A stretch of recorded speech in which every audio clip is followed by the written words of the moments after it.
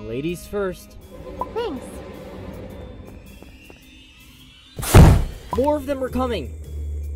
Oh no. Who's Henry?